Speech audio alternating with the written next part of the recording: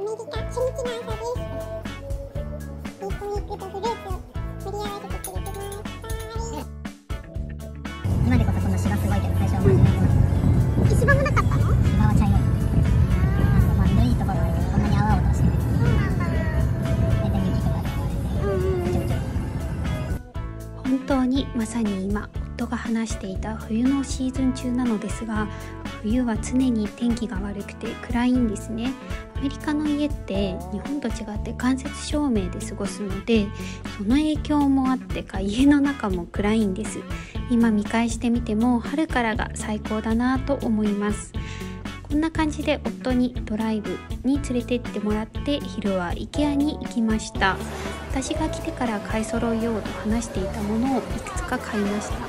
ちなみにアメリカでは IKEA を IKEA と発音します。なんででしょうか？